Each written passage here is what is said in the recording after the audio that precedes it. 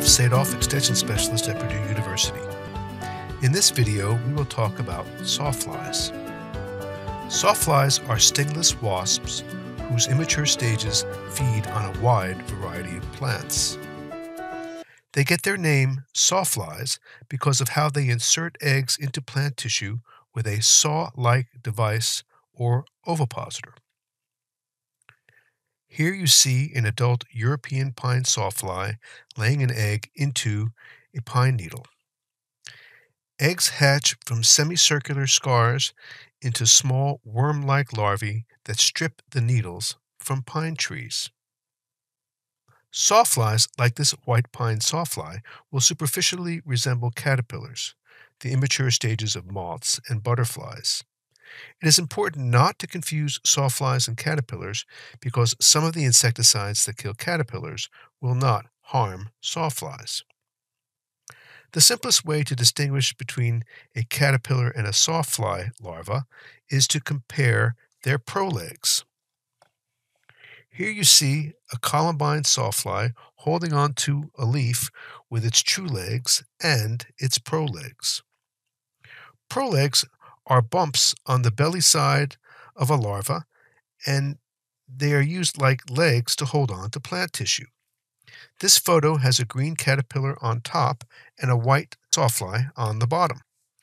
You can see the three pairs of true legs that are immediately to the left of the head of the caterpillar and the sawfly. The prolegs are further toward the hind end of both the caterpillar and the sawfly larvae. Caterpillars never have legs on the fifth segment down from the head. Sawflies do. Also, caterpillars have less than six prolegs, whereas sawflies have six or more. It's easy to remember this number because there are six letters in the word sawfly. Sawfly larvae feed on a wide variety of plants and come in a wide variety of colors. Dogwood sawflies are covered with white wax and can be a serious defoliator of red twig dogwoods. Slug sawfly larvae are covered with a sticky secretion like the pear slug sawfly that you see here. Oak slug sawflies often feed in groups, scraping off all but the top surface of a leaf. Roses are particularly susceptible to several species of sawfly. Their injury is quite distinctive and common in the landscape. Young larvae are unable to feed all the way through leaves and will scrape off all but the uppermost layer of the leaf tissue, leaving behind a gray window. As sawflies get larger, they can feed all the way through the leaves. You can confirm your diagnosis or look up control tactics on the Purdue Plant Doctor webpage available at purdueplantdoctor.com simply type the word sawfly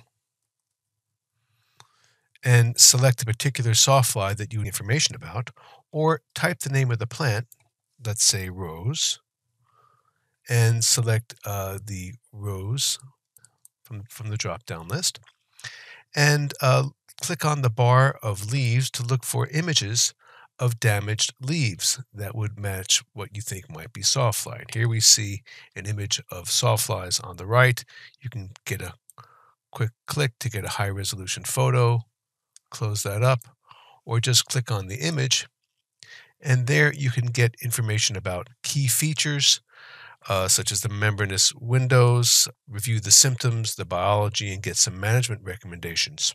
Then you could take this list of effective pesticides with you to the store to see if they have what we recommend on the shelf. Note that despite their showy blooms, many of the hybrid roses with double petals have fewer pollen and nectar rewards to make them attractive to bees. For this reason, using foliar applied insecticides to kill sawflies will be less harmful to pollinators than plants considered to be bee magnets.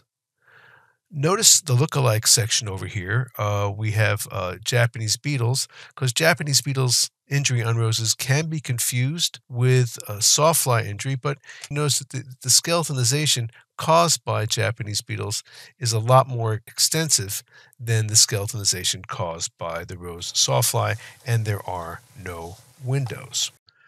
So please be sure to visit our Plant Doctor webpage and don't let your plant problems get you down.